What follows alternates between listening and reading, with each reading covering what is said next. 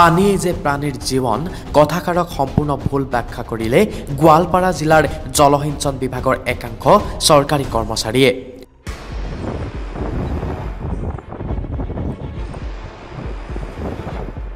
প্ৰত্যক্ষ কৰক এই কাৰ্যালয়লৈ। এয়া গোৱালপাৰা জিলাৰ জলেশ্বৰ ব্লকৰ অন্তৰ্গত গৌৰনগৰ পানী যোগান আঁচনিৰ বাহিৰত দেখিবলৈ ৰংচঙীয়া কিন্তু ভিতৰৰ সুফলা স্বৰূপ। বছৰৰ পৰা বছৰ ধৰি এনেকৈ পৰি আছে এটোপাল পানী নাপায় ৰাইজে।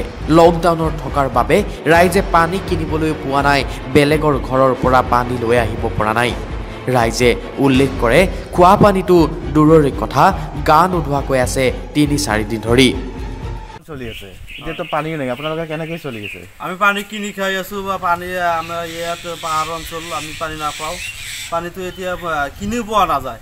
আমি দুদিন তিনিদিন গাও ধোৱা নাকৈ থাকি আছোঁ আৰু পানী খোৱা পানীৰে অসুবিধা আমি গাও ধোৱা ক'ত পাম? তো এনেকৈ চলি আছোঁ।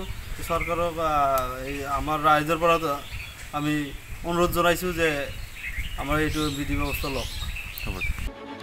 ৰাইজে জানিবলৈ দিয়া মতে মাজে সময়ে মেৰামতিৰ নামত পইচা আহে যদিও কাম সম্পূৰ্ণ নকৰাকৈ আত্মসাত কৰে গৌৰনগৰ পানী যোগান আঁচনিৰ দায়িত্বত থকা আহমেদ আলী নামৰ ব্যক্তিজনৰ লগতে আন বিষয়াসকলে।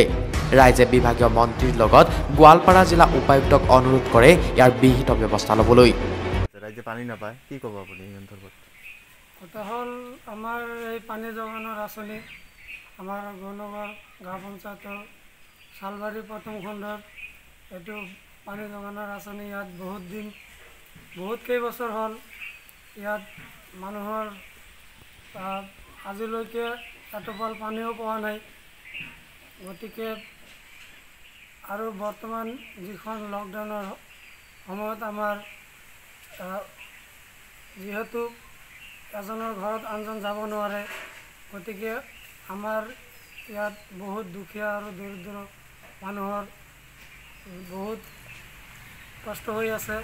গতিকে মই কন্যগড় গাঁও পঞ্চায়তৰ সভাপতি হিচাপে মই চৰকাৰক অনুৰোধ জনাওঁ যে আমাৰ এই পানী যোগানৰ আঁচনিত কোনে কোনে ইয়াত জড়িত হৈ আছে যাতে আমাৰ ৰাইজক খোৱা পানীৰ ব্যৱস্থা কৰি দিয়ে আমাৰ সকলো ৰাইজৰ উপকাৰ কৰে যেন।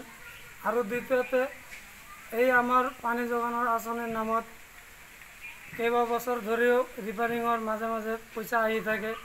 ৰিপেয়াৰিং নকৰাকৈ অলপ চলপ কাম কৰে কৰি কিনে পইচাখিনি শেষ কৰি দিয়ে। গতিকে ইয়াৰ তদন্ত কৰি মই চৰকাৰক অনুৰোধ জনাওঁ যে আমাৰ জিলা উপ- উপায়ুক্ত মহোদয়ক অনুৰোধ জনাওঁ যে ইয়াৰ বিহিত ব্যৱস্থা কৰি আমাক সকলো ৰাইজক উপকৃত কৰে যেন। জলেশ্বৰৰ পৰা ফাৰুক আফতাৰ ৰিপৰ্ট অসম টুডে।